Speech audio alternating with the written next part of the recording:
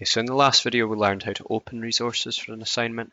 Now it's time to edit them. So just a reminder, PDF I'm going to open online so that I can see it here while still accessing Teams. And the Excel spreadsheet I'm going to open in Excel.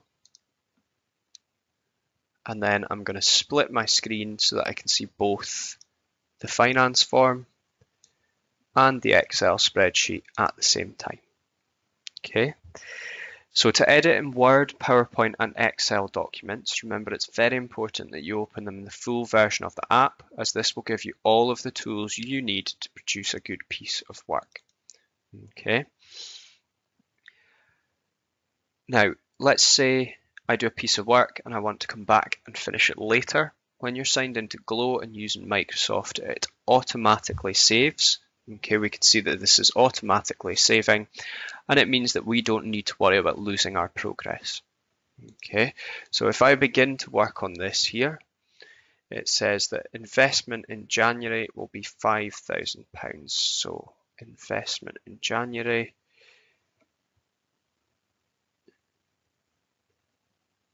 we're looking here and we're going £1,000. Okay, now if I just close this, it will automatically upload to Teams. I go back into Teams and open this again.